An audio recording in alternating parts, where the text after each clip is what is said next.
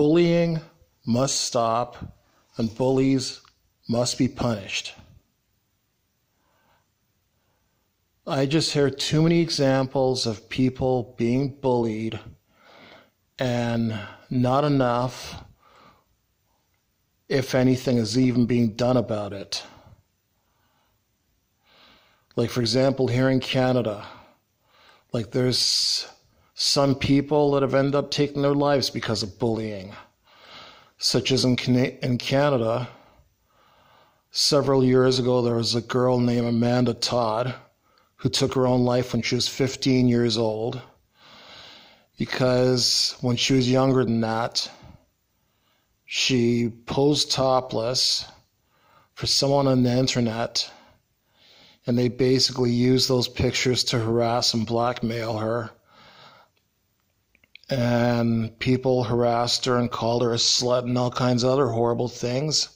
She got harassed so badly that she ended up taking her own life. Another example of a Canadian girl that took her own life because of bullying was Rehtaeh Parsons.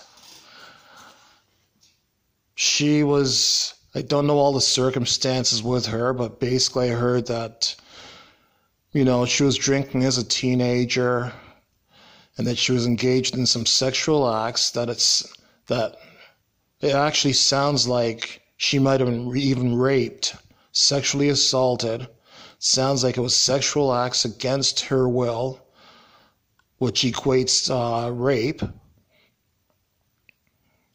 And even though it was against her will, she ended up still getting bullied for it. And she ended up taking her own life as well, too. And I've heard about famous YouTubers that have been that have been bullied like two examples of famous YouTubers I've heard about being bullied. Um, Jessie V, who's a Canadian YouTuber, as well as Mandy V, her sister. They were both bullied.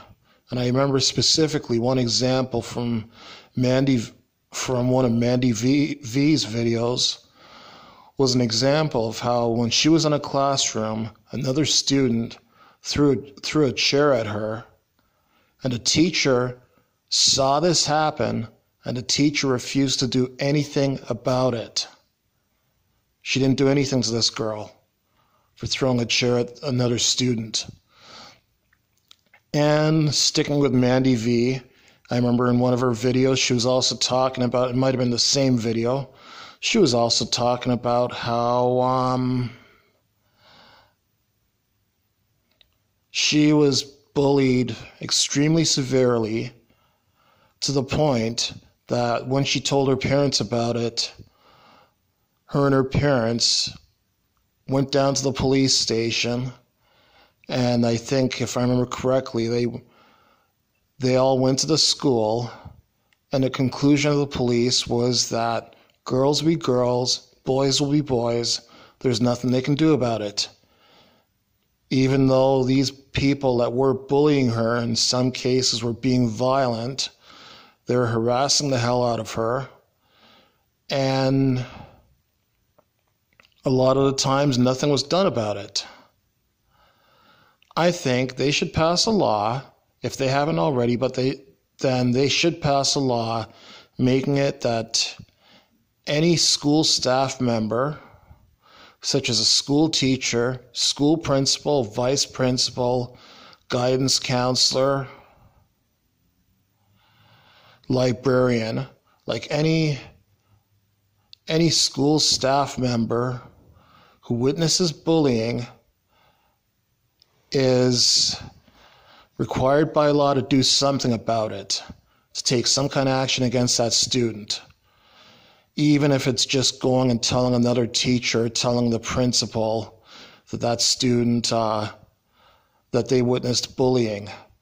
But I think if a staff member in a school witnesses bullying and they refuse to do anything about it, they should be fired. This whole attitude about girls be girls, boys be boys, I'm sorry. That to me is a bunch of BS, and that just doesn't fly.